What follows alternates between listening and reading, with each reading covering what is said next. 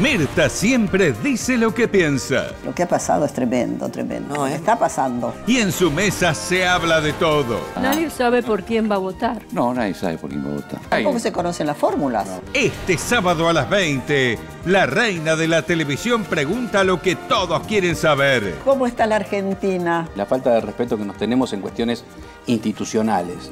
Y el domingo a las 13, nadie quiere quedarse afuera de sus legendarios almuerzos. Cuando le preguntaban, ¿usted se imaginó que su hijo iba a ser famoso? Y ella decía, él de chico quería ser Mirta Legrand.